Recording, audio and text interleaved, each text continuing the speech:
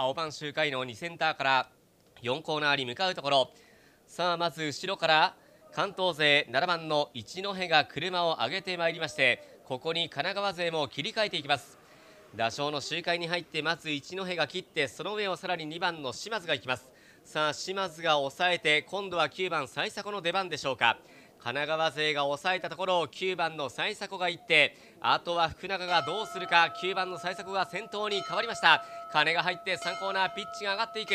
そして地元勢3番手まで上がってまいりました。さあ9番幸迫を叩きに行って4番の福永が先頭に変わる。